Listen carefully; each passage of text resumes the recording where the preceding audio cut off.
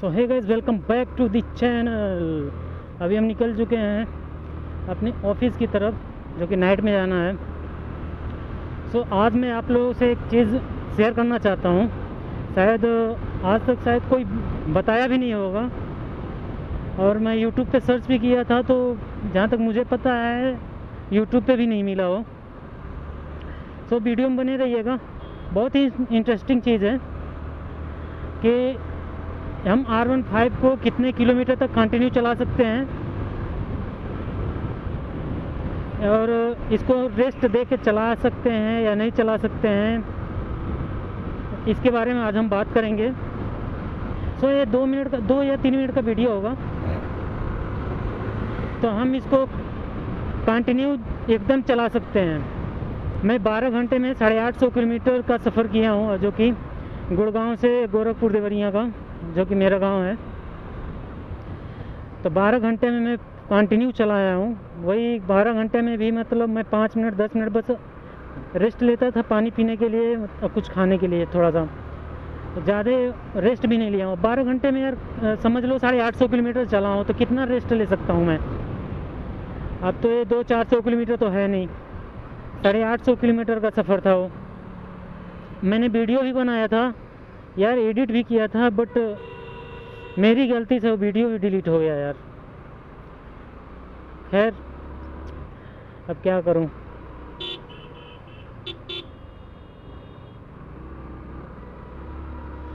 सो so, इसको rest देना ना देना कोई दिक्कत वाली बात नहीं है।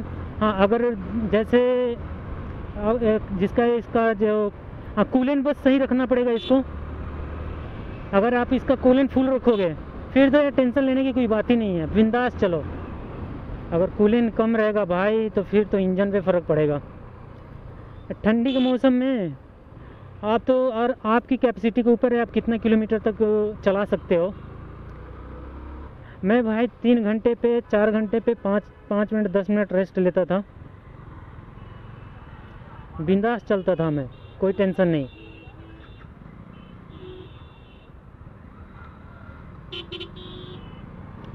चल भैया। बिंदास चलता था। बट यार, अकेले सोलो राइड था मेरा, साढ़े आठ सौ किलोमीटर का। अकेले दिमाग ख़राब हो जाता था भाई। एक्सप्रेसवे पे चलते ही ने जैसे लखनऊ एक्सप्रेसवे पे जब हम चढ़े थे, मैं चढ़ा था।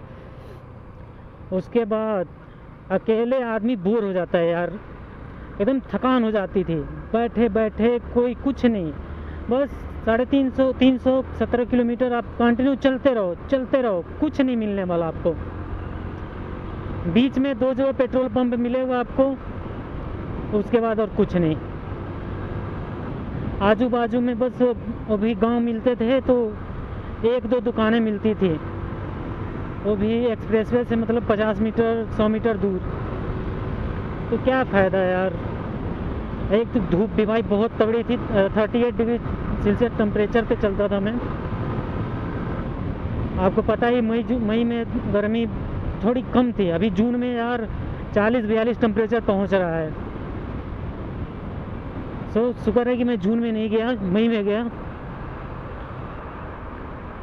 बस यही था जो आप लोगों से एक छोटा सा वीडियो था जो शेयर करना था आपसे कि इसको हम कंटिन्यू कितना किलोमीटर हम तक हम चला सकते हैं। वो आपकी कैपेसिटी के ऊपर है, कितना किलोमीटर आप चला सकते हो।